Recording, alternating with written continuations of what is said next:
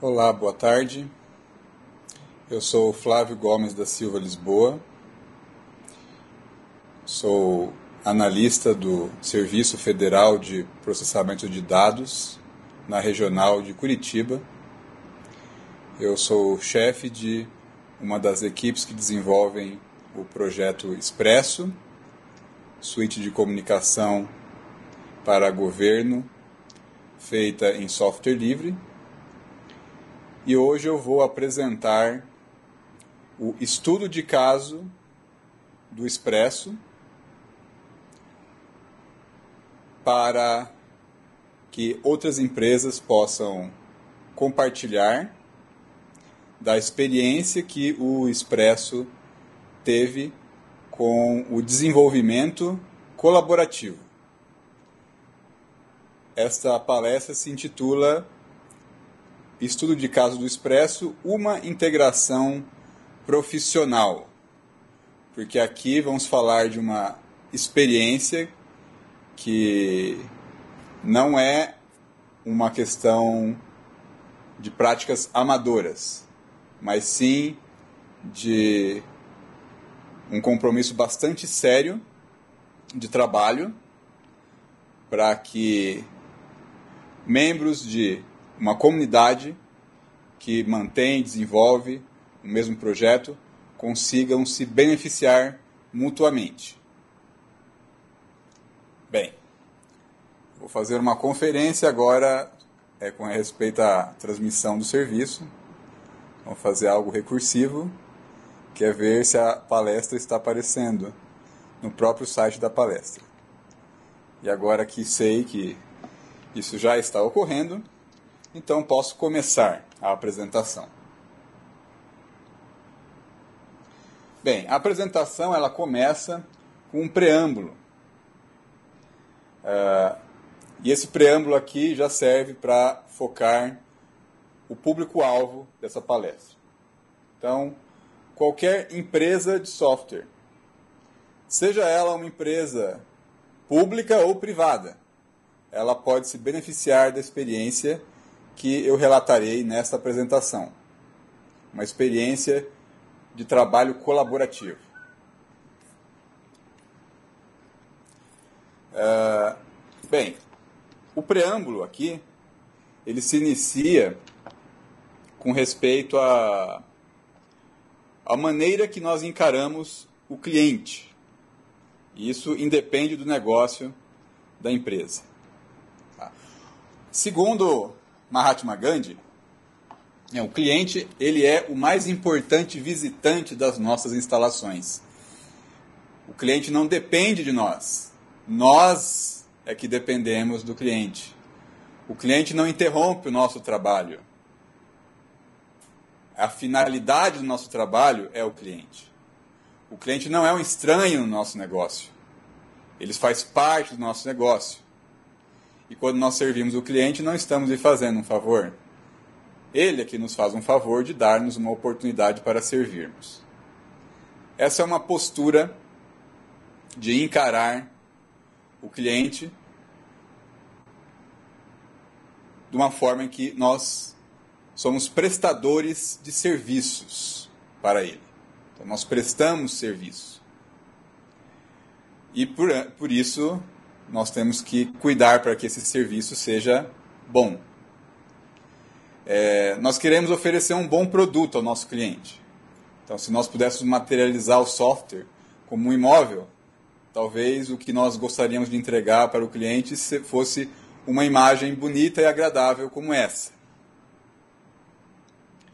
É, nós também queremos entregar para o cliente um produto que seja seguro. Então, com certeza, o cliente não irá admitir, né, se o software fosse um muro, uma muralha, que tivesse uma brecha, um buraco como esse. Uh, o software também tem que ser um produto estável. Então, essa imagem aqui nós vemos uma, uma casa, uma casa bem grande, aqui tem três pavimentos, parece ser uma casa bonita. No entanto, é, o terreno onde ela se encontra está seriamente comprometido. Então, é, toda a, a interface, a apresentação todas as funcionalidades da, da, da, desse imóvel, eles estão seriamente comprometidos por causa da infraestrutura que ruiu. Ou, nesse caso, ela já não existe mais. A casa vai despencar, a casa vai cair. É, então, é necessário, para que o serviço seja prestado, no, nesse caso aqui, o serviço da residência, é necessário que em torno dele é, haja toda uma infraestrutura. Assim é como o software também. Né? Para que uma tela apareça no navegador e essa o usuário possa entrar com, com dados e esses dados sejam processados, entregando para o usuário uma informação que lhe seja útil, uma informação que é, lhe permita controle sobre o seu negócio, uma informação que lhe permita tomar decisões sobre o seu negócio, é preciso uma infraestrutura que dê sustentação a esse software. É, na maior parte das vezes nós não, não é, tomamos consciência dessa infraestrutura é, parece que é algo mágico aqui, o, é, o, o computador, tudo está no nosso computador local, na máquina local, mas na verdade é toda uma infraestrutura de rede, uma infraestrutura de centro de dados que dá suporte ao software, que permite com que ele funcione. É, é como o terreno onde está situado o imóvel. Uh, o software também precisa ser flexível. Então, toda empresa que vai construir, entregar um produto, em geral, é, ele tem que ter essa ideia de que ah, o meu produto ele tem que permitir ah, uma flexibilidade. Ele não pode entregar mais custos para o meu cliente. Aqui nessa imagem nós vemos um exemplo de um produto que não é flexível. E aqui novamente eu recorro à analogia do, do, do imóvel. Então, nesta casa está sendo feito aqui uma, um, um reparo e a parede teve que ser quebrada para que esse reparo fosse feito, ou para que essa instalação fosse feita. Ah, se a instalação hidráulica, elétrica da casa, ela não fosse embutida na parede, isso evitaria que ela tivesse ser quebrada para que alterações fossem feitas ou pelo menos que não toda ela fosse embutida, que houvesse pontos que permitissem a manutenção. Isso significa que a manutenção de, de, de um, qualquer item compromete é, uma grande parte da casa. Assim com software. Então, você precisa fazer uma alteração no software. O software tem que ser flexível, a arquitetura dele tem que ser flexível para isso. Porque senão você ah, precisa adicionar uma nova funcionalidade ao, ao, ao código. Ah, o cliente precisa de um novo relatório. Ah, o cliente precisa é, de um novo processo integrado no sistema. Uh, e para que isso seja feito, num software já existente, às vezes você tem que quebrar a parede, porque você não pensou que ah, no futuro eu vou precisar adicionar funcionalidades. Assim como aqui nesse caso, ah, eu não pensei que eu ia ter que colocar um ar-condicionado aqui, na casa e agora eu tenho que quebrar a parede para fazer essa instalação. Aí nós chegamos aqui num ponto que o custo de manutenção do produto tem que ser aceitável. Então, às vezes, nós tomamos decisões imediatistas. Compramos algo que é barato. Então, fazemos um orçamento e, dentre os, os vários fornecedores daquele orçamento, nós vemos um que, nossa, esse aqui é muito caro, então não vou, não vou vou optar por aquele que é mais barato.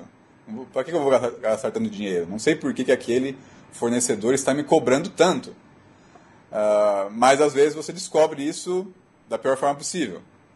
É o fornecedor que estava cobrando mais caro pela realização do, do serviço, pela entrega do produto, ele iria lhe entregar algo que custava mais caro, mas tinha uma qualidade melhor. Enquanto você optou por um mais barato, que às vezes não tem tanta qualidade, e aí exige adaptações, exige reparos. Uh, e aí o custo de manutenção se torna mais caro do que o custo de aquisição. E a manutenção é algo a longo prazo. Então a manutenção acaba sempre saindo mais cara do que a aquisição. Por isso você tem que estudar sempre quais serão os impactos de manutenção. é, para não ter surpresas. Assim é com software. Você, ah, não, vou pegar um software aqui que é muito mais barato, né? porque eu vou gastar tanto com esse serviço aqui se tem um outro que me cobra menos? Pois é, mas o, qual, quando você precisar fazer uma alteração no software, quanto isso vai custar? É isso que deve ser pensado.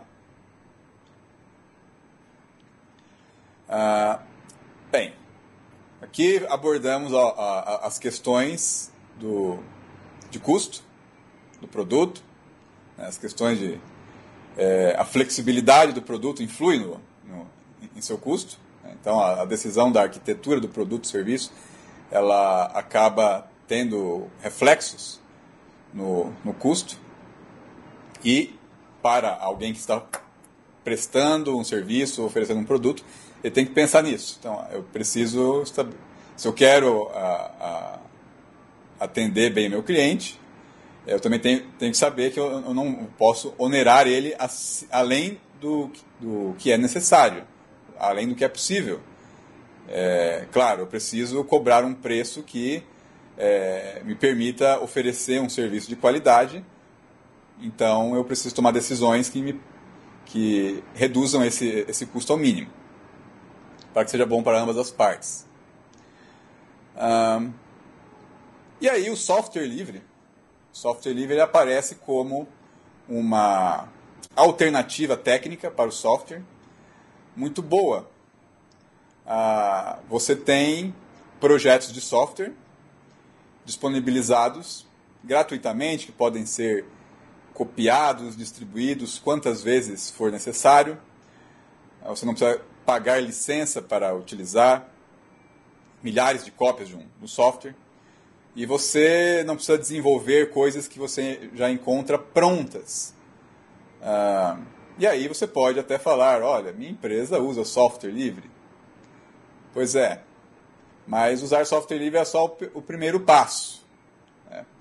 Porque, inclusive, a comunidade de software livre pode é, redarguir essa, essa afirmação, dizendo que é assim: você usa software livre, mas você não devolve o que você conseguiu acrescentar ao que tomou de graça. Quer dizer isso? Ah, você pegou um projeto de software, não pagou por esse projeto, você acrescentou as funcionalidades que você queria, que faltavam a ele, que, e que é, você necessitava para oferecer um serviço completo, um serviço focado no seu negócio, um produto customizado, mas você não, não devolveu essas alterações para a comunidade que criou o projeto de software livre. Essas alterações ficaram com você. Então, você vai pensar, ah, mas as alterações eu fiz para o meu negócio. Essas são coisas que me interessam. O, o de software livre, da forma como ele estava, continua lá na comunidade. Sim. Bem, na verdade você, o projeto de software livre, ele se mantém com pessoas. É, e ele, essas pessoas também precisam é, de motivação, precisam de patrocínio para poderem manter aquele projeto funcionando. Uh, na hora que você não devolve uma contribuição, você está negando uma melhoria para o projeto que você tomou de graça. Então, você não pagou o projeto com dinheiro, você não pagou com ele com valor monetário, mas você pode pagar com um código de programa.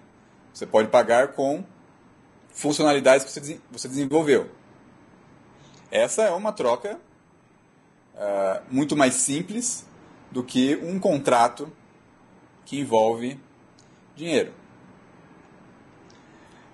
Bem, uh, a partir de agora eu vou mostrar especificamente aqui uma experiência de como o projeto Expresso ele se beneficiou do trabalho colaborativo, do trabalho cooperativo, do trabalho em comunidade não só é, pegando é, um projeto de software livre, mas também devolvendo melhorias para as comunidades desses projetos. Ah, a questão aqui é uma questão técnica e é, é uma questão de negócio. Então, uma questão extremamente estratégica para o negócio. Então, nós aqui, como toda empresa, nós temos um determinado segmento, determinadas linhas de negócio com nossos clientes. E, como é de se esperar, nós temos que focar o nosso trabalho nesse negócio. Então, o nosso cliente nos traz demandas e como nós estamos naquela postura, nós temos que servir o nosso cliente, servir com melhor qualidade, a gente tem que focar no nosso negócio. Então, nós temos que nos focar em atender o que o cliente pede. Agora, assim como acontece com a imagem da casa, certo? Então, para eu poder fazer com que a casa fique de pé, eu tenho que cuidar de todo o terreno em volta dela, da infraestrutura. É, e essa infraestrutura não é só infraestrutura de hardware, não é só rede, não é só as máquinas, os servidores, as salas de, de cofre e todo o, o, o equipamento que há em volta para fazer com que o, o, o software funcione. Mas o próprio software ele também precisa de infraestrutura. Existe infraestrutura de hardware, existe infraestrutura de software.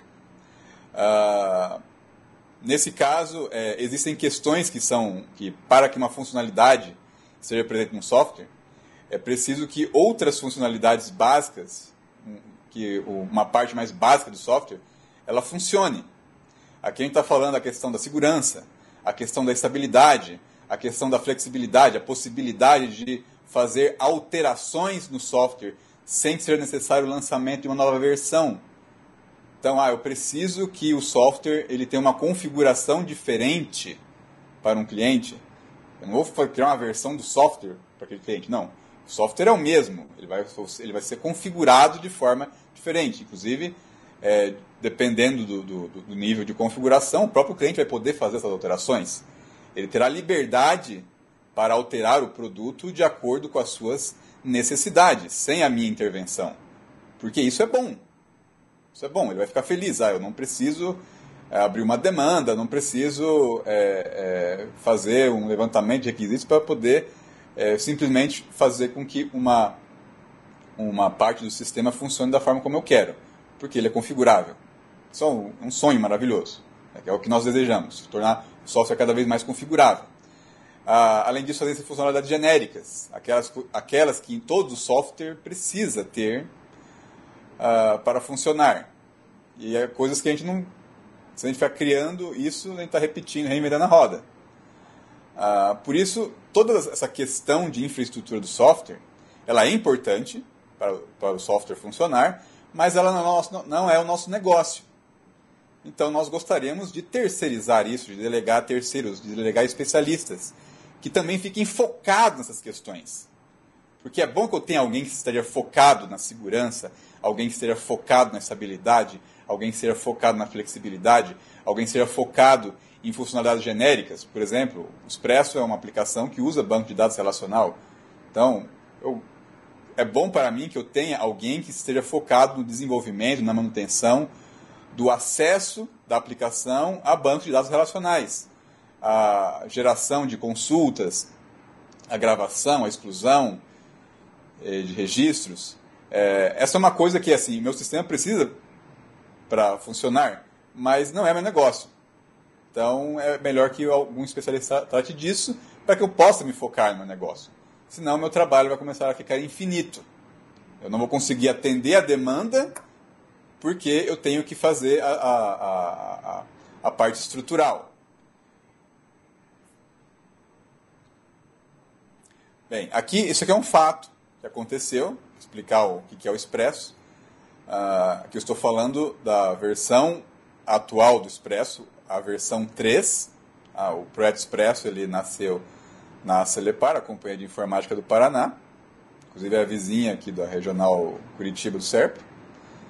Uh, então a Celepar ela, ela, tomou um projeto de software livre, o eGroupware, projeto desenvolvido na Alemanha, e ela customizou o eGroupware é, para que atendesse requisitos do, do Estado do Paraná, é, do governo do Estado do Paraná, é, para o qual a Celepar provê serviços, e aí criou o Expresso. Né? E a Celepar, ela não só fez as alterações, né? ela fez a coisa certa, ela publicou as alterações, ela abriu o código do Expresso e começou a manter, fazer a manutenção desse código é, de forma aberta. Então, quaisquer pessoas interessadas em, em, contribuir com alterações, com melhorias no código, uh, poderiam participar do processo de desenvolvimento. Então, não era uma, um, um desenvolvimento fechado. Isso permitia o quê? Isso permitia melhorias. Então, alguém via que alguma coisa pode funcionar melhor, ou eu, eu tenho eu tenho o desejo de uma funcionalidade que ela pode servir não só para mim, mas para outras pessoas, o produto então foi se, foi se aprimorando com isso. Né? Problemas que sempre ocorrem com o produto, eles eram é, encontrados muito mais rápidos do que se ele fosse fechado, porque não tinha só uma equipe fechada dentro de uma empresa olhando. Né? O código estava exposto para o mundo inteiro poder ver. Uh, bem, a tecnologia do, do software muda, assim como a tecnologia de hardware. Né? E você tem que se adaptar. O, assim aconteceu com o Expresso. Então chegou um momento que a tecnologia utilizada no eGrouper ela já ela se tornou obsoleta. E havia outras opções, inclusive para dar uma melhor manutenção ao produto. Foi aí que surgiu a versão a versão 3 do Expresso, que mudou a plataforma então, o, o Expresso versão 3, ele não usa o eGrouper como plataforma de software, ele usa o projeto Tiny 2.0. O, o Tiny 2.0, ele também é um projeto de software alemão, é uma característica na Alemanha concentrar vários projetos livres de softwares de comunicação, de colaboração em grupos.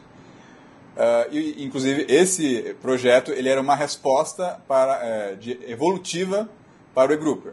Era uma, um projeto que ele tinha como linhas orientadoras a, a melhoria dos testes, a, da, da testabilidade do código, para permitir uma integração contínua, um desenvolvimento ágil, para permitir uma melhoria constante do código, uh, mais, mais, flexibilidade, mais desacoplamento, mais especialização com a delegação de eh, tarefas específicas para projetos especialistas, seguindo aquela linha de que ah, o, o, projeto Tiny ele, era, uh, ele foi criado para ser um CRM, né, um sistema de relacionamento com clientes.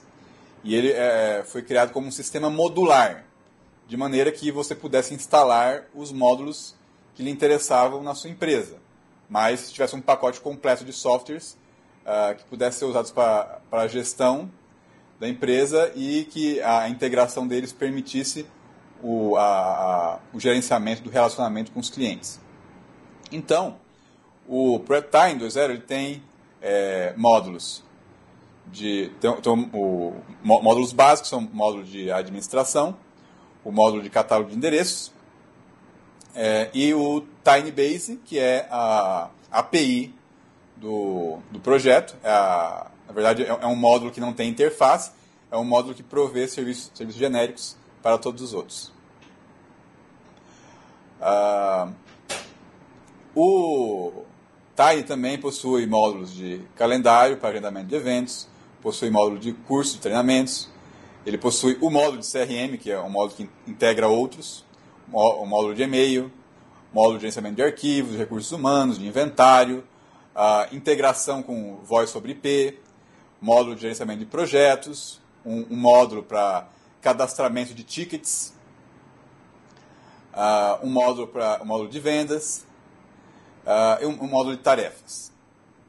Uh, ah, e, também tem um, um, módulo de bilhetagem que permite o controle sobre ligações telefônicas, o controle sobre a troca de e-mails, para que você possa é, oferecer esse serviço uh, e fazer cobrança dele. Né? Você cobrar é, com base na comunicação. Bem, então esse é, esse é, esse é o Tiny. Tá? O Tiny é um projeto de um sistema de relacionamento com clientes, um CRM. Uh, ah, o Expresso, ele, uh, os interesses do Expresso, o negócio do, do Expresso, é, é um subconjunto disso. O, o, o Expresso o foco dele é o, a, a, comunicação por e-mail e uh, o, sistema orbita em torno, em torno, disso. Então, é um software para permitir a, a comunicação entre grupos. Uh, então, o Expresso ele não precisa de todos os módulos do Tiny, não precisa de todos os módulos do Tiny. E graças à, à questão da modularidade, foi possível escolher só os módulos que interessavam o Expresso, que era o módulo de ActiveSync, pra, que permite sincronização de dados para os serviços de catálogo de endereços, de calendário, de tarefas de e-mail, e os, os módulos de, de calendário, o, o, módulo de tarefas e os módulos de infraestrutura da, da, da aplicação, que eram comuns. Então, o, nós pegamos um projeto inteiro de graça e nós estamos usando ainda só 40% dele. Tem um grande ainda potencial de, utilização é, que pode vir a ser aproveitado conforme outras linhas de negócio surgirem. Mas a questão interessante aqui é que a, a, a característica da modularidade é que permitiu que nós pegássemos só o que nos interessava pegar. É, isso é uma coisa boa no software, você ter essa opção. Ah, eu pego o que eu, eu uso o que eu quero, pego o que eu quero. Ah, então aqui está um potencial de, re, de reaproveitamento para demandas internas, né, coisas que nós ainda não utilizamos. Tem potencial para demandas de nossos clientes, tem potencial para demanda da comunidade no Brasil, na América Latina. Né, todos os usuários do Expresso, eles podem em algum momento, ah, eu, eu, poxa, o Expresso então ele é um subconjunto do Tiny. Sim. Ah, então quer dizer que eu poderia pegar um módulo do Tiny e, e, e, utilizar no Expresso? Existe essa possibilidade. Ah, eventualmente pode ser necessário fazer alguma, alguma adaptação no módulo é, se, os, se as funcionalidades que ele possui não é, atenderem. Mas é, essa é a vantagem do software livre. Você pode mudar qualquer coisa a qualquer momento. Ah, mesmo os, os módulos, ah, o Expresso ele, ele não tem só os módulos que ele pegou do Time. O Expresso criou outros módulos. Então, é, além dos módulos do, do Tiny, o Expresso tem os módulos Expresso Meio. O Tiny já tinha um módulo de e-mail, mas o Expresso ele tem um módulo de e-mail diferente. É um, é um módulo de e-mail com, para ambientes de mais alto desempenho, um, um módulo de e-mail mais escalável. Uh, o, o Expresso tem módulos de webconferência, módulos de mensageria instantânea o, tem agora, na última release do Expresso, foi lançado o, o Expresso Driver. O Expresso Driver é um módulo de gerenciamento de arquivos que utiliza protocolo WebDAV. Ele pode se conectar com qualquer servidor é, de arquivos que utilize o protocolo WebDAV. E nós temos uma, um, um, serviço, Expresso, o Expresso Drive, que é uma, uma customização do OnCloud, um projeto de gerenciamento de arquivos, que usa o, o WebDAV. Então, o Expresso Driver ele é o, módulo cliente para o Expresso Drive. Mas é, também é possível que o Expresso Driver é, consuma é, serviços de gerenciamento de arquivos de outros servidores que utilizem o WebDAV. Ele é flexível no seu back-end. Uh, o CERP também ele criou um app launcher, uma, uma aplicação que permite que é, sistemas corporativos possam ser acessados de dentro do Expresso. Então, aplicações que a, uma empresa é, tenha internamente, ela não precisa pegar e sair do Expresso para ter acesso à aplicação, ele pode ter um, um, um, um link internamente para essa aplicação. Bem, esses módulos são módulos criados para o, o, para o Expresso, uh, que não existem no, no, no, Tiny, mas eles, mesmo eles, eles foram, eles utilizaram ou reutilizaram módulos do Tiny. O Expresso Mail ele reaproveitou grande parte do módulo de e-mail do Tiny, o Fellow Mail. Então, a, o que foi feito foi a, a, a implementação. Né, o, o Fellow Email é, um, é um, módulo, um módulo de e-mail que usa cache de mensagens em banco de dados. O Expresso Mail não. O Expresso Mail ele tem acesso direto ao servidor IMAP. Ah, o desempenho do Expresso Mail é bem maior. Mas foi utilizado o Fellow Email para desenvolver o Expresso Mail. Ah, os módulos de Web Conference e Messenger, assim como outros módulos, eles usam o módulo TinyBase do Tiny. Então, é, eles se focam no seu negócio, um em, faz, em prover serviço de webconferência, o outro em, em prover serviço de mensageria instantânea. Uh, mas a, a, a, base de código de, genérica, é, os dois não, é, não foi necessário escrever para os dois. Eles utilizam, eles é, compartilham de um mesmo módulo básico que provê serviço para eles. O Expresso Driver ele foi criado a partir de um módulo do Tiny, File Manager, que é um módulo de gerenciamento de arquivos, mas que é, é um módulo para gerenciamento de arquivos em sistema de arquivos. Então, se você é, quer utilizar o gerenciamento de arquivos em sistema de arquivos, já existia um módulo File Manager. Agora, o Expresso Driver não, ele não, ele faz, é, ele não usa o sistema de arquivos, ele não faz gerenciamento direto. Ele é um cliente para um servidor que é, utiliza o WebDAV como protocolo. E o App Launcher ele foi criado com uma, uma ferramenta do, do Tiny, que é o, o, o tool que permite a geração de novos módulos. Uh, então o Tiny já tem um esqueleto pronto, ah, na, na, hora que alguém precisa criar um módulo novo, essa pessoa não, ela não parte do zero. Ela já tem uma implementação básica. Então ela não precisa repetir aquilo que já foi feito, aquilo que é, sempre é feito para cada módulo.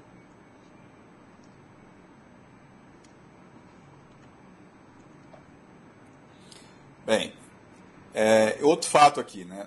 nós, o, o Expresso, ele tem é um, uma aplicação web, ele tem uma interface web, é uma interface implementada com XTJS, é, em um sistema que delega o processamento da interface para o cliente.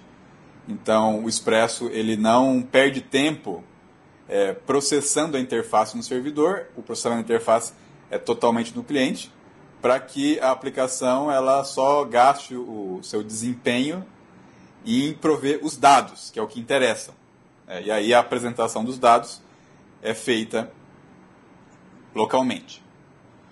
Ah, então a rede não, não, não é obstruída por tráfego de código de interface. Ela trafega somente o necessário.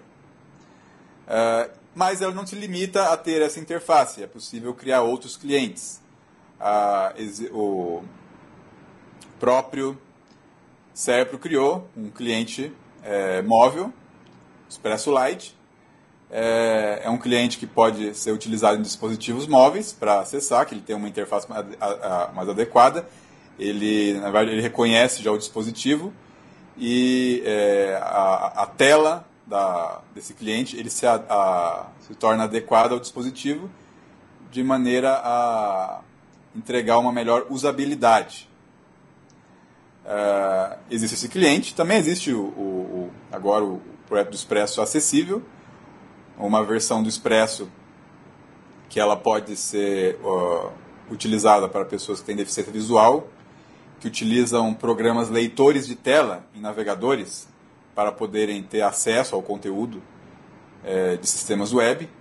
Então, é possível também utilizar um cliente acessível. Bem, na verdade é possível criar é, quantos clientes forem necessários ou desejáveis para o Expresso. Uh, é um sistema desacoplado da interface. Isso é porque é, a, existe um reuso da arquitetura da aplicação, que é orientada a serviço. Essa é uma outra característica que é boa para um software. É você fazer com que o seu software possa ser consumido como um serviço. E que você não aprisione é, o seu cliente, o seu usuário, a, a, a ir somente pela interface que você construiu que ele consiga ter acesso ao sistema pelos clientes que ele mesmo criar. Este é um fato. Agora, outro fato aqui, que essa é uma questão interessante. É, às vezes, o que surge com relação ao software livre é a questão do custo. É, então, algumas pessoas até perguntam: mas o que eu ganharei usando software livre? né, como se a comunidade do software tivesse que pagar alguma coisa para você usar o software. Né? Você já tá, está pegando o software de graça, é a primeira coisa. Você não gastou para adquiri-lo, não pagou licença para o software. Essa é a, é a primeira coisa. Outra coisa, quando houver atualizações para aquele software, você também vai poder pegar aquelas atualizações de graça, sem custo algum. Então, dá um exemplo aqui de custo, porque é difícil mensurar o trabalho. As pessoas pensam que, ah, vou pegar, é, eu peguei, fiz o download do, do, software, o download de um patch, é uma coisa simples, né? É, mas, pegaram um exemplo do próprio Tiny aqui. É, então, a comunidade de software livre, ela trabalha com a, empresas que patrocinam um projeto, que são aquelas diretamente interessadas na sua criação e manutenção, e existe a comunidade de voluntários, que participa, uh, também abre demandas, também é, intervém na, na, na solução de, de, de problemas, no, no, desenvolvimento, na questão de defeitos. Uh, com relação às demandas, é, existem é, a questão. Quando você contrata um prestador de serviço, uma empresa, para ela desenvolver uma funcionalidade para um projeto, seja ele aberto ou fechado, ela vai cobrar por aquele serviço, porque é, é o negócio dela, uh, para desenvolver. Quando você trabalha com comunidade, é um sistema de escambo. Ah, então eu faço a minha parte, você faz a sua, e aí a gente troca então nossa, nossas funcionalidades. Uh, então, quando você trabalha com uma comunidade de software livre, você precisa que alguma coisa seja implementada. E você é, abre essa demanda na comunidade, bem, você está abrindo a, a, demanda, você não está pagando por ela, então você não tem que cobrar nada por ela. Como é que você fala? Ah, olha, eu peguei o software de vocês de graça, comecei a usar, e aí eu vi que falta uma coisa nele. Tá? Eu precisaria que adicionasse determinada funcionalidade nesse software. E você fala o que você quer. Abre a demanda. Certo? A comunidade, ela vai registrar aquilo, vai registrar, vai discutir em cima. Agora, a prioridade com relação ao, ao quando que isso vai ser implementado, é, a comunidade não tem nenhuma obrigação de, de, de, de priorizar essa demanda.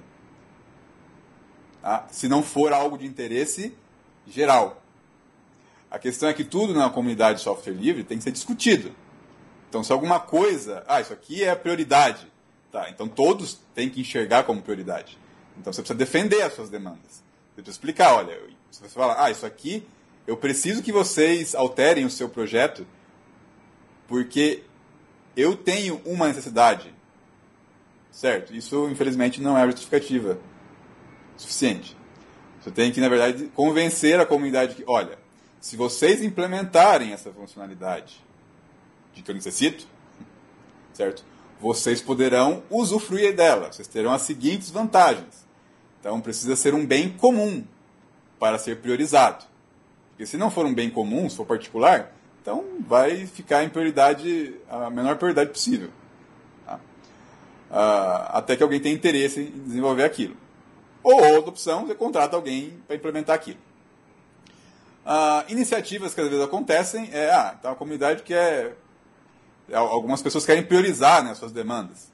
Então, não, há outro caminho aqui. É, a, a, comunidade Time, por exemplo, tinha várias demandas da, da, da comunidade que estavam lá, sem, sem, sem, priorização. Ela abriu a oportunidade aqui, fizeram um crowdfunding.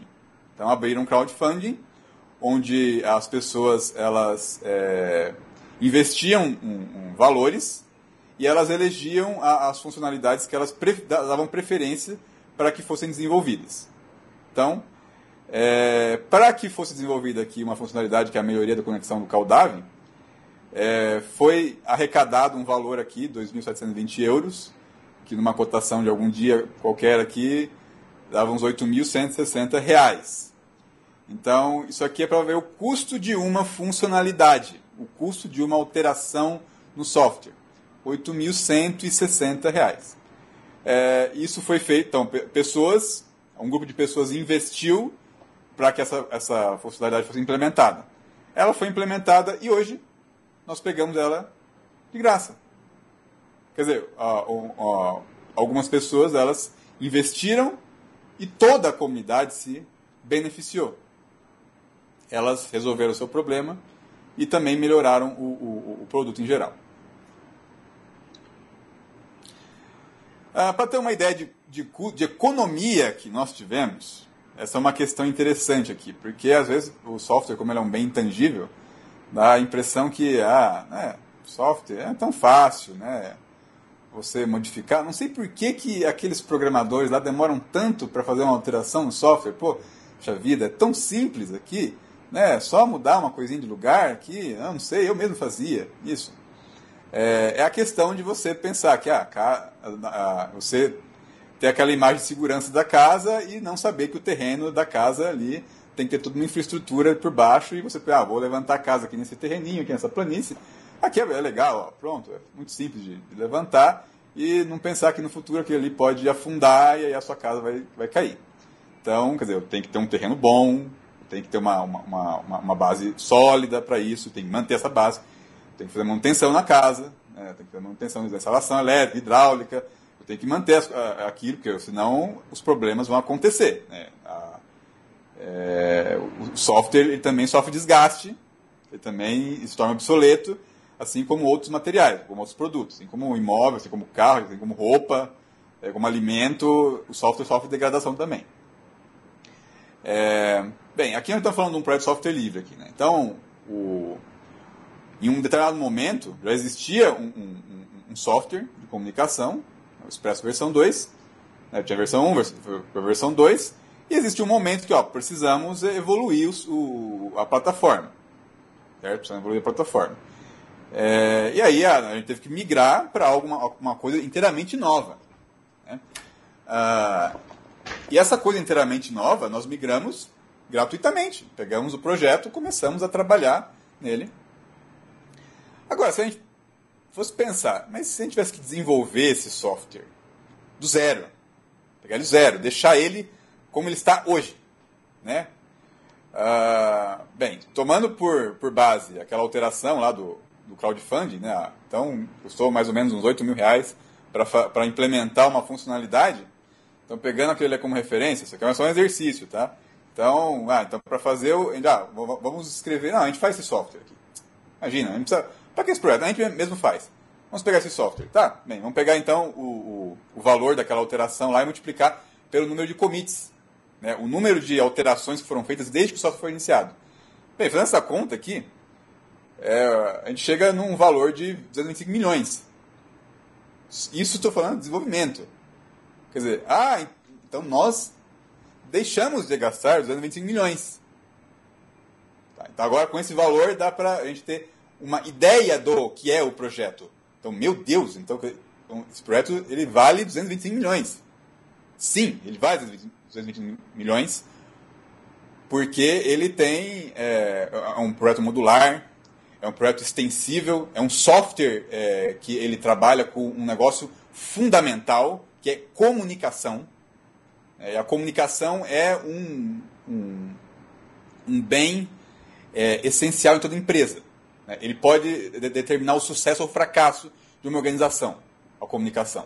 A maior parte dos problemas que a gente tem no dia a dia, seja qualquer atividade uh, econômica, elas envolvem comunicação. Né? Se você não conseguiu se comunicar plenamente, não se conseguiu se comunicar no momento certo, no momento ideal, se você não teve a informação no momento, na, na hora que você precisava, isso pode resultar em prejuízo para você. Então, estamos falando com um software aqui altamente estratégico. Então, esse valor aqui, ele é, realmente é condizente com a sua importância mas não tivemos que gastar esse valor para chegar no código. Nós podemos gastar nosso esforço em melhorar algo que já existia. Ah, e aqui ah, tem a questão de que, ah, eu vou. Mas aí, bem, pegar um software de graça, aí nós tivemos que criar é, a, a mais funcionalidades para atender aos nossos clientes, para prestar o nosso serviço. É, na verdade, o, o, software da comunidade ele tem um propósito genérico. Então, ah, ele tem que atender a todos. Então, ele vai ter, ele vai ter um conjunto de funcionalidades genéricas. Quando você vai, você tem os, os seus clientes, o seu nicho de mercado, a sua carteira de clientes, eles têm as suas necessidades peculiares. E aí você vai ter que fazer, adicionar essas, essas uh, funcionalidades que vão atender um negócio específico no software. Então, assim é conosco também. Tivemos que criar, fazer alterações, né, adicionar ao expresso coisas que não existiam no Time. Fizemos isso. Devolvemos as, as alterações e começamos a devolver as alterações que a gente, a gente fez para o Time. Então, ó, isso, isso, isso, que nós fizemos aqui no Serpro, isso que nós fizemos aqui para o cliente do, do Serpro, isso aqui serve para o Time, então volta para o Time, integra o produto. E não só integra o produto, Quando chega no Tiny, o Tiny melhora o que nós fizemos. Então aqui é, nós temos um exemplo, aqui tem uma, é, essa, essa tela aqui, ela mostra um pedaço do, do repositório do Tiny, onde existem as contribuições do Expresso. Né? Então tem uma lista aqui de é, alterações que desenvolvedores do, do, do, Expresso submeteram para o, o, o, Tiny. E ali no meio daquelas lá tem uma, uma, uma alteração do Expresso que foi feita por uma, um membro da comunidade Tiny. Ele melhorou uma funcionalidade do Expresso. E isso é uma coisa recorrente. Né? Nós, quando nós mandamos o código, então é, nós abrimos a possibilidade de que outras pessoas olhem para aquilo e vejam, puxa, eu posso melhorar isso. Né? Não dá para melhorar o que não existe. Só pode melhorar o que existe. Uma vez que você expõe alguma coisa, você abre oportunidade para que as pessoas melhorem aquilo. Na hora que você divulga, você consegue dar conhecimento a pessoas que têm especialidades diferentes, que podem notar oportunidades que você não nota, porque você está focado no seu dia a dia, num universo limitado de possibilidades. Então você precisa abrir, abrir, abrir a, a, as possibilidades. Para abrir as possibilidades, temos que abrir o código. Uh, então aqui está, uh, esse aqui é um exemplo, aqui outro exemplo, uh, é uma telinha de um commit, foi uma funcionalidade que nós desenvolvemos aqui no Expresso. Né? Nós é, desenvolvemos vários plugins no Expresso para permitir é, justamente a questão da configuração, da, da customização, da possibilidade de que cada cliente, usuário, membro da, a, do, da, da, comunidade pudesse adaptar a, a ferramenta à sua realidade. Uh, isso aqui foi uma, foi uma alteração criada no Expresso. Nós mandamos para o Tiny e aí o Tiny ele melhorou, melhorou significativamente essa funcionalidade e nos devolveu. Então nos permitiu aprimoramento. Né? O, o a, esse processo de devolver o código permite que a gente melhore o nosso produto. A gente, na verdade, a, a questão é que assim, nós temos que focar o negócio. Então a gente pensa, vamos criar a solução para o nosso cliente da melhor forma possível. Mas a melhor forma possível é a melhor forma naquele momento. Então, nesse momento, que eu enxergo de solução é isso aqui: atende, atende, funciona, funciona, entreguei. Peguei esse código, devolvi para a comunidade, expus, expu, expus ele. Uh, a comunidade, hum, olha, esse código pode ser melhorado, o desempenho disso pode ser melhor, né? então vai ficar mais rápido para o cliente. Ó, podemos colocar mais funcionalidades, ó, o cliente vai, vai gostar disso aqui e devolve. Ó, isso aqui vai ficar. Ó, dá para isso aqui alterar para que isso fique mais fácil de manter, de forma que nós não percamos tempo no futuro com isso. Então, essa é economia. Então, estamos trabalhando aqui com redução de custos, melhoria do, do, do, do, do produto para o cliente, melhoria do serviço para o cliente. Aqui, aqui outro fato aqui, nós temos uma tarefa aqui, uma tarefa do Expresso. Uh, é, então, nós criamos a, a, a, a alteração aqui. É, isso aqui é uma, uma. A parte que está em destaque, que está no retângulo destacado, é a parte que o, a comunidade Tiny fez. Então, existe uma, uma lista de arquivos. Uh, então, na verdade, nós, a, a, parte que está no retângulo, ela foi feita pela comunidade Tiny. Então, o, a comunidade Tiny, ela acrescentou é, melhorias à, à nossa implementação. Então, eles não somente receberam o que nós devolvemos, eles melhoraram, acrescentaram e aí nos devolveram. Então, é um ciclo. É, um vai ajudando o outro, um vai contribuindo. Eu faço uma parte, entrego para você, você melhora o que eu fiz, aí você devolve, eu pego o que você fez, melhoro, devolvo para você. Isso vai aumentando a qualidade. Isso é uma melhoria contínua. Melhoria contínua, porque um vai ajudando o outro. É um trabalho cooperativo, um trabalho colaborativo. Cada um faz a sua parte. Cada um faz o seu melhor. Nós consumimos frequentemente melhorias e correções do Time. Então, é, o, a, o, trabalho em comunidade ele nos beneficia porque a parte que é genérica, do, nós, enquanto nós podemos focar no negócio, a parte que é genérica de melhorias, melhorias de desempenho da, da, da aplicação, ou então defeitos são detectados, às vezes o defeito é detectado, a gente nem sabe que ele existe, porque a gente, acaba, a, a gente ainda não, a, a gente não entrou na situação em que aquele defeito se manifestava. Né? Então, na verdade, o, o, é, é, um, é um caso particular que, que, que apresenta aquele defeito e ninguém ainda passou por aquilo aqui no Brasil. Né? E aí, mas lá no exterior, alguém já usou o software lá, viu e corrigiu o problema. Né? E aqui nós temos a possibilidade de corrigir um problema antes que a, a pessoa saiba que existia um problema. Né? Então, para ela, nem problema existe. Então, essa é, é, é, é nós pegamos correções, melhorias de desempenho também, melhorias constantes de desempenho, nós trazemos. Então, é, aqui, ó, especificamente até o setor de Curitiba, do Projeto Expresso, a, a gente está continuamente trazendo melhorias do projeto aqui. Então, monitoramos, acompanhamos, nos comunicamos, que é a parte mais importante, nós comunicamos constantemente com a, a comunidade, a comunidade Expresso e a comunidade Tiny. As duas comunidades estão no intercâmbio de informações, uma beneficiando a outra. Uh, até um detalhe aqui que agora eu me lembrei, eu tinha mostrado no início que o, o módulo Expresso Meio ele não fazia parte do Tiny, né? ele foi criado pra, para o Expresso. É, mas é, hoje uh, ele foi, mas ele foi submetido como contribuição para o Tiny e hoje ele foi já integrado ao projeto, já faz parte do repositório de código e deve ser estar tá disponível numa próxima release do Tiny. Então aqui é um trabalho criado no, aqui no Brasil, criado pelo Serpro, criado pela comunidade Expresso e que agora vai fazer parte de um projeto maior, de uma comunidade maior, vai estar disponível para um público muito maior e também com maiores chances de, de, de, de evoluir mais rápido, evoluir com muito mais qualidade. Uh, uma questão assim é que a, a, o ambiente de integração contínua e testes automatizados do Time, ele, quando nós tomamos, é, começamos a, a, trabalhar com a comunidade, está muito à, à nossa frente.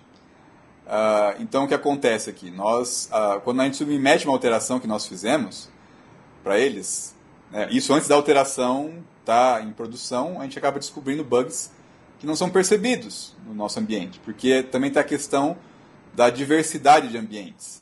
Então nós ganhamos mais testadores, acabamos corrigindo bugs aqui antes que eles se manifestem.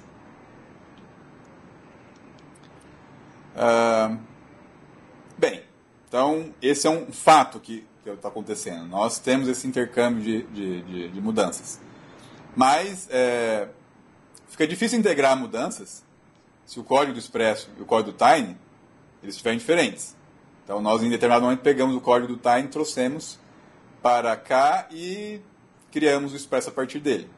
Mas o, o, o, o projeto Tiny continua evoluindo de forma independente. Ah, para que nós possamos trazer é, melhorias de código do Tiny para o Expresso, eles têm que manter seu, um código comum atualizado. Então é importante isso para qualquer projeto de software livre que você resolver adotar. É, você resolver customizar, desenvolver para oferecer ele como um serviço, como um, um produto, agregando valor a ele. Uh, se você não quiser é, ter custo de manutenção, aumentar o custo de manutenção, você tem que manter o seu código sincronizado com o código da comunidade, se não todo ele, pelo menos a, a, a, a uma parte, né? uma parte que você pode determinar que é a API do sistema, para que você consiga trazer as mudanças, porque senão, se os, se os códigos começarem a divergir, você vai ver, ah, nossa, a comunidade ela fez uma melhoria. Você traz o código dela e ele entra em conflito com o seu, porque o seu está muito diferente. Tá? Então, o ideal seria integrar todo o release estável do Tiny. Tá? Isso é uma coisa que a gente teve dificuldade no começo fazer. Estamos agora mais próximos de alcançar. É, Para que isso seja possível, Para que isso seja possível, é necessário atualizar constantemente o, o Expresso com o código do Time. É, aliás, desculpem, desculpa. Ah, Para que seja possível atualizar constantemente o, o Expresso é, com o código do Time, a gente tem que é, fazer uma separação do que é implementação de regra de negócio específica, do SERPRO, do Expresso, é, daquilo que é regra de negócio genérica. Porque o que nos interessa, nós não queremos gastar tempo na implementação genérica, porque já tem gente trabalhando nisso. A gente pode é, reaproveitar esse código. A gente quer focar no desenvolvimento de funcionalidades específicas para os nossos clientes, para a nossa comunidade local. Então, é, nós começamos a fazer um trabalho de separar aquilo que é específico daquilo que é genérico. E assim começamos a diminuir os conflitos de interesses. É, isso não somente permite que você atualize, como também evita que o, o, o SERPRO ele distribua funcionalidades dependentes do seu ambiente de produção, que só atende seus clientes ou só servem no Brasil. Então, é, assim, não é legal você distribuir uma caixinha preta que está lá só funciona no SERPRO. É, na verdade, tem que funcionar em qualquer ambiente. É um software livre. Ele é livre, inclusive, de ambiente. É, o, quando você desenvolve um software de maneira fechada, é, você não, não, não, não, expõe seu código, não colabora com ninguém, e você só testa e você só produz ele no seu ambiente, então você vai ficar preso àquele, àquela situação. Você não vai é, ter contato com problemas que acontecem com outras configurações, com outros ambientes, com outras infraestruturas, é, e vai acabar criando restrições, vai criando premissas que às vezes outras empresas, outros, outras pessoas não vão conseguir atender. Então você tem que libertar o seu software dessas das restrições. Ele tem que ser independente. Para que ele seja independente, ele tem que é, garantir que ah, existe uma parte genérica que todo mundo consiga utilizar. Ah, cada empresa tem as suas demandas, tem o seu ambiente produtivo, tem suas características próprias. É por isso que o ambiente tem que ser flexível. Que hoje nós temos é, participando da comunidade Expresso, que estão ou já migraram, estão migrando para a versão 3. É, temos a Agência de Tecnologia de Informação do Estado do Piauí, a, a empresa de processamento de dados de Minas Gerais, a empresa de processamento de dados do, do Rio Grande do Sul. É, cada uma delas tem uma realidade, cada uma, uma delas tem é, os seus suas demandas específicas e elas não, não vão ter, ser obrigadas a, a, a, a ter que utilizar um software com premissas e restrições do ambiente do SERP, porque o software não é do SERP, o software é livre. Então, toda, cada uma delas tem que poder é, customizar, flexibilizar, configurar o software para o seu ambiente. E isso é possível. Tá? O Expresso ele tem um mercado potencial na América Latina, ele tem, só que para isso ele tem que funcionar com a realidade de cada país, ele tem que ser flexível. Então, ah, se eu quiser que se o, o, o Expresso funcione no Brasil, né, e vai atender às demandas da legislação do Brasil, e também, se, ele é livre, ele tem que atender às demandas da legislação da Argentina, do Paraguai, da Bolívia, do Peru, do Chile, da Venezuela, da Colômbia, do Equador, do Suriname, das Guianas. Ah, a separação do código específico do, do, do, da, da, empresa, né? então qualquer empresa que desenvolva um, um projeto de software é, e não assim, queira re reinventar a roda, né? desenvolver o código que o seu fornecedor já fez, ela tem essa vantagem. Né? Você, vai focar o atendimento das demandas do seu cliente. Você vai melhorar a qualidade daquilo que o seu cliente quer. Tá? Porque já tem alguém trabalhando para melhorar a qualidade daquilo que é de interesse geral. Claro que você também vai contribuir melhorar o que é de interesse geral, mas você não vai ser o único responsável. Você vai compartilhar essa responsabilidade com uma comunidade muito maior. E aí a, a, existe uma redução de custo dessa manutenção. Você, em vez de ficar dedicado completamente a cuidar da parte genérica do software, você compartilha, divide essa responsabilidade com o grupo. É, é, extremamente bom que um projeto seja sustentado por mais de um membro em comunidade. É, que eu recorro a uma citação que ela vem muito a calhar aqui, que ela serve não só para software, mas para qualquer atividade humana. É melhor é serem dois do que um, porque tem melhor paga o seu trabalho. Porque se um cair, o outro levanta, seu companheiro. Né? Mas aí se estiver só, pois caindo não haverá outro que o levante. Então, sustentar um projeto sozinho É, é possível? É possível. Mas não é bom. É melhor compartilhar isso. É, então, dois é melhor do que um. Se a comunidade for internacional, melhor ainda. Né? Como é o caso aqui do Time.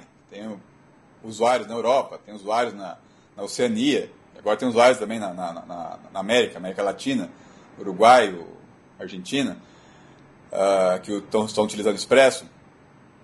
É, porque aí você aumenta a diversidade de ambientes, diversidade de problemas, diversidade de demandas, e você consegue é, também aumentar a cobertura de testes, uh, ter pessoas com perfis diferentes, conseguir enxergar possibilidades e detectar soluções é, é, para problemas uh, muito mais rapidamente, aumentar o potencial de colaboração, de evolução, de melhoria de qualidade do produto. Uh, não é bom querer fazer tudo sozinho. Tá? Essa é uma ideia muito ruim. Tá? Isso é um sintoma da síndrome do ursulão. Tá? Síndrome do ursulão. Isso aqui é um caso que você tem que gravar essa, essa, essa imagem, essa história, você pensar bem na, na, hora de decidir, ah, vou pegar um projeto de software e vou, ah, vou tocar esse projeto sozinho aqui, tá, é meu porque só me interessa aqui, eu não vou me envolver com esse negócio de comunidade, isso é complicado, é, tem que ficar conversando, debatendo em fórum, perde muito tempo com isso, não, vou fazer tudo sozinho, que aí eu faço mais rápido. É, né, vai sair mais barato. Pois bem, então existe um personagem aqui, o Sulão, né, ele... Ah, Geralmente aparece junto com. Junto não. A, a, os, o, é, os desenhos do Ursulão eram exibidos junto com os desenhos do Pica-Pau, que são da mesma produtora. O Ursulão é um personagem que ele sempre decidia fazer as tarefas de casa por conta própria, ao invés de dar dinheiro para a mulher contratar um especialista, né? eletricista, encanador, pintor. A história é sempre a mesma, né? A mulher ia ligar para o eletricista, ele, não, eu vou fazer isso, pegar essa dinheiro para o eletricista, eu mesmo faço. Né? E aí o que acontecia? O carro pegava fogo, o carro estourava, o motor do carro fundia, e aí acabava gastando mais dinheiro para consertar o que ele tinha estragado do que se tivesse contratado o especialista. E é isso que a gente faz quando a gente é, trabalha em comunidade. Eu contrato um especialista. Só que eu não preciso pagar ele em dinheiro. Eu pago com contribuição. Olha, você, eu, eu vou pegar a parte que você desenvolveu, eu vou desenvolver uma parte específica e vou devolver para você. E aí faço um escambo é assim que funciona. Tá? Não seja ursulão. Então, desenvolver de forma colaborativa, a gente evita fazer uma implementação que resolve um problema de forma imediata, mas você cria outros problemas. Você tem que passar vários meses para resolver. Também tem essa questão de, ah, por que, por que tem que discutir isso aqui? Eu já sei como resolver. Mas é, você, você, às vezes, não, não tem a, a, a visão do impacto que aquela mudança pode causar no sistema. Ainda mais porque o software quanto mais funcionalidades ele tem, quanto mais módulos ele tem, mais complexo ele é, quanto mais regras de negócio ele, ele, ele embute, é, ele acaba se tornando mais complicado de, de mexer. Você pode pensar, ah, vou alterar isso aqui, é muito simples, né? e não pensa no, nas consequências daquilo, porque você não enxergou todos os cenários. Mas na hora que você abre aquela sua alteração para discussão, num fórum, e fala, ó, oh, eu estou fazendo essa mudança, e a, a minha abordagem para resolver o problema é esta. E você se abre para receber a crítica de outras pessoas, ela fala: olha, se você fizer isso, pode haver tais consequências. Então eu sugiro que você altere a abordagem. Então você tem a oportunidade de evitar que o erro aconteça, é, a, a, tem a oportunidade de evitar, consertar o erro antes que ele se manifeste. Tá? Então, em vez de, ter que passar meses para resolver um problema, você já pode resolver, evitar que esse problema ocorra. Né? Porque você expôs aquilo, porque você se comunicou. Na verdade, o grande fundamento, núcleo do sucesso do software livre é a comunicação. Porque as pessoas falam entre si. Elas dizem o que estão fazendo, o que pretendem fazer, e aí permitem que as pessoas elas manifestem as suas ideias. E assim melhorem o que existe e evitem problemas. Porque é, não é possível que uma pessoa ou um grupo reduzido tenha todas as experiências. Mas é possível reunir a experiência de muitas pessoas se elas conversarem entre si. Ah, fato é que a gente tem que poder ser ágil, a gente tem que tentar evitar de gastar tempo fazendo coisas que não são do nosso interesse é, específico, não são nosso foco de negócio, porque a gente não deve fazer só o que o cliente pede. E também não devemos esperar o cliente pedir para fazer. A gente tem que guardar fôlego para ser usados, criativos, para inovar. A gente tem que melhorar continuamente a qualidade dos produtos e serviços para o cliente. Não esperar que ele peça. É chegar ó, e apresentar, ó, tenho essa proposta aqui. Mas para a gente poder ter, poder fazer isso, a gente não, não vai poder ficar gastando tempo é, dando manutenção é, em coisas que não são do nosso interesse imediato. Por isso que a gente divide a responsabilidade. A gente faz uma intersecção de interesses. A atualização constante do, do código do Tiny é, permite que gente, nós, no Expresso, captemos funcionalidades não solicitadas pelos clientes. Na verdade, a, a, a comunidade Tiny é, ela acaba criando, é, absorvendo demandas implementando funcionalidades e a gente acaba trazendo isso para o cliente. O cliente não pediu, mas já se beneficia. Então nós estamos sim, tendo a oportunidade de entregar funcionalidades novas é, antes que é, é, a sua demanda.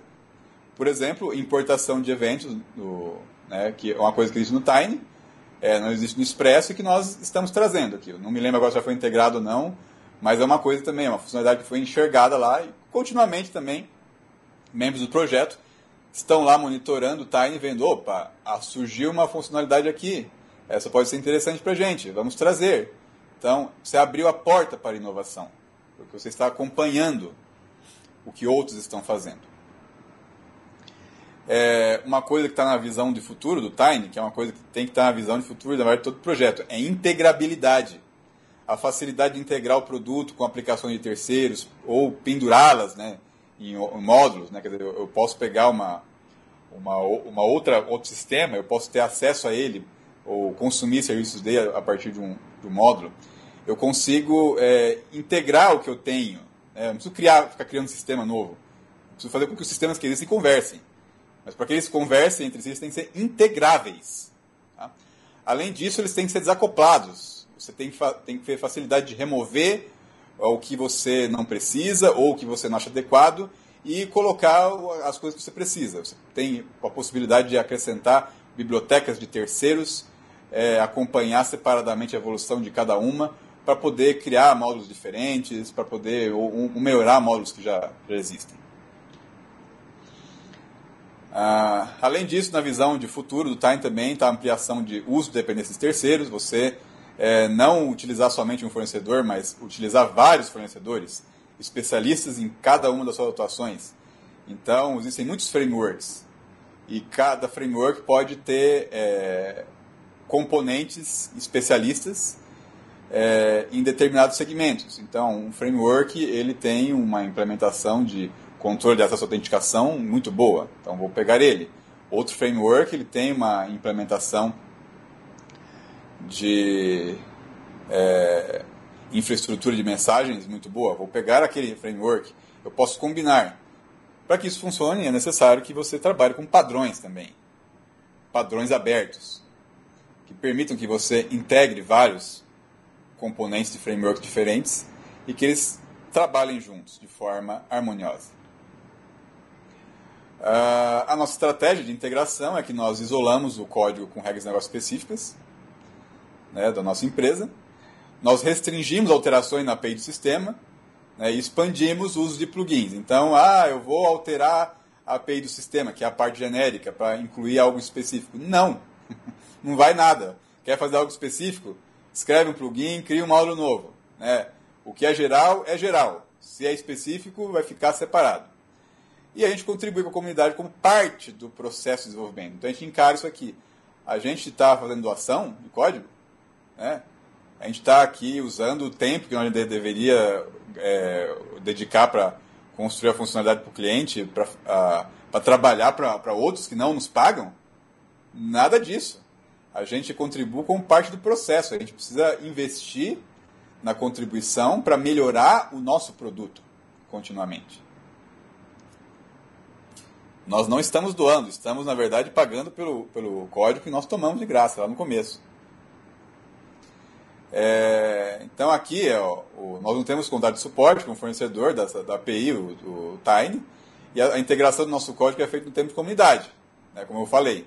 A priorização é feita de acordo com a importância e demanda para os patrocinadores do, do, do, projeto. Então, se os patrocinadores não verem, ah, essa demanda que, lá, que veio lá do SERP, que está falando que é importante, ela não é, não vejo ela como importante. Ela pode ficar para depois, lá para o mês que vem, lá pro, daqui a um semestre. Porque eu não vejo ela como algo que vai beneficiar todos, que é algo que é importante para ser feito agora. Mas para nós é, porque para nós interessa para o nosso cliente. Como é que a gente faz esse negócio aí? Pô, a gente tem que, é, a gente tem que é, integrar essa, essa mudança, a gente quer que essa mudança esteja presente no código da ferramenta que a gente utiliza. Então, aí, o, o, o que tem que fazer é isolar o código. O, negócio, o código de negócio ele tem que é, ser, ficar separado é, nós enrijecemos o critério de aceitação de mudança para API. Se não for plugável ou configurável, não entra. Não, ah, eu preciso mudar, é uma, fazer uma alteração aqui para. Ah, eu preciso alterar o módulo de calendário. Então eu vou lá alterar o Tinebase porque eu preciso alterar o módulo de calendário. Espera um pouquinho, essa alteração aí no módulo do, do Tinebase para atender o calendário vai afetar os outros módulos. Então, calendário é calendário. Vai, então, se tiver que funcionar, vai implementar no próprio módulo, criar um plugin para isso essa opção. Né? Ah, vamos criar uma opção né, que vai atender o nosso cliente, mas não vai atender a resto da comunidade. Então essa, a opção tem que ser configurável. Então nós ligamos ela para o nosso cliente, mas outros que quiserem desligar, mantém desligada. Bem, é isso. Que até passei o, o horário previsto palestra. Espero que não tenha sido cansativa, espero que também não tenha sido muito corrida.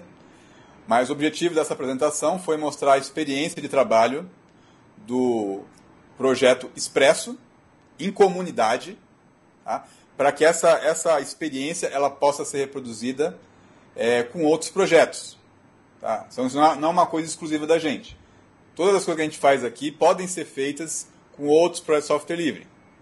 É, eu deixo aqui na apresentação meu e-mail para caso haja dúvidas sobre nossa experiência aqui, que eu não consegui esclarecer com essa exposição. Vocês possam me contatar pelo meu e-mail corporativo, flavio.lisboa.serp.gov.br. E eu convido a todos para é, é, acessarem o site do Expresso, comunidadeexpresso.serp.gov.br, onde você pode conhecer mais sobre o Projeto Expresso, saber do que ele se trata, saber da, da comunidade, se tiver, quiser participar, baixar o código, usar, testar, instalar, entrar no fórum, discutir. Uh, nós temos documentação em Wiki, nós temos tutoriais. É, conheça esse projeto, é um projeto é, de software livre de verdade, tá? um projeto que é feito abertamente, que trabalha em comunidade é, e que assim, a, a qualquer momento que, alguém queira contribuir com esse projeto, queira participar dele, pode participar. Ah, então, encerro agora aqui a apresentação. Agradeço a, a audiência de todos. Né? E até a próxima.